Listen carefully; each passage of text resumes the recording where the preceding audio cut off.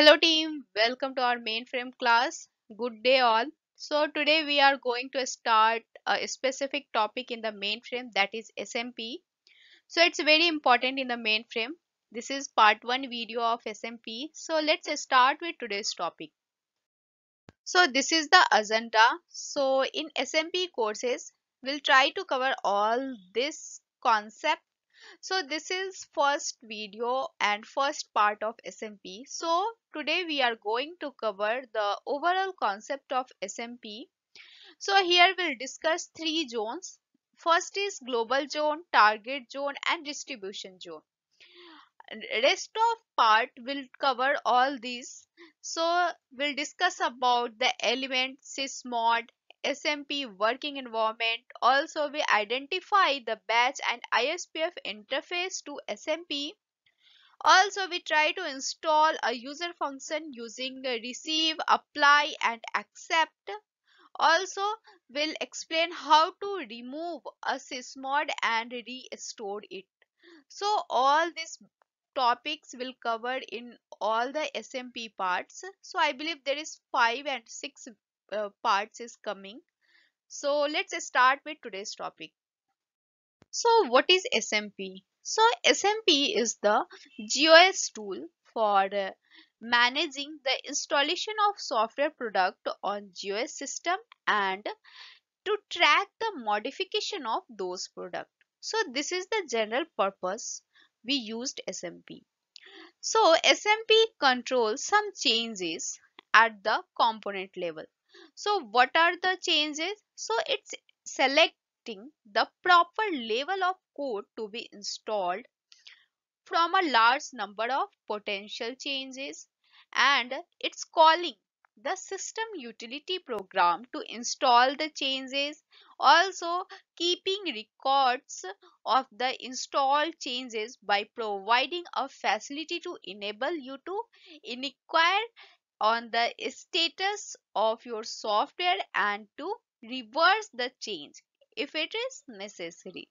So all these changes done by SMP only. Also all code and its modifications are located and in a SMP dataset that we called CSI that means consolidated software inventory so which consists of one and more VSAM dataset. So SMP can be run either using the batch job or using the dialogues under the ISPF or PDS.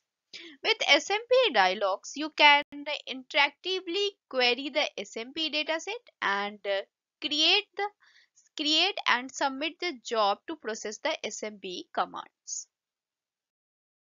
So you already know z/OS is the complex system and uh, comparing a many different uh, smaller blocks of code. So in this diagram you can see uh, each of these smaller blocks of code perform a specific functions on in the system. So each system function is uh, composed of one or more load module and uh, in z/OS environment, a load module represents the basic unit of the machine readable and executable code. And this load module uh, are created by combining of one or more object module and processing them with the link edit process. So previous video we will cover what is the link edit process and function of link edit. So uh, load modules are uh, like here link edit of the modules is the process that uh, resolve external reference and addresses. And uh, this function on your system therefore one or more object module that have been combined and the link edit process. So most of time object modules are sent to you as a part of product and uh, other time you might need to assemble a source code sent by you by the product package and uh, to create the object module. So you can modify the source code and then assemble it as a product and the object module. So next one is the element uh, of the system. So beside object modules and source code, most products distribute many other parts such as macros, help panel, CList and other z/OS libraries member. These modules like macros and other type of data and code of the basic building blocks of your system all of these building blocks are called elements and uh, elements are associated with and it depends upon the other product or service that might be installed on the same z/OS system and they describe the relationship uh, in software has with other products or service that might be installed on the same z/OS system. So that's all for this video. Thank you all for watching this video. Please like, share and subscribe this channel. And in next part, we'll start with the sysmod. What is sysmod and types? We'll continue with the next video.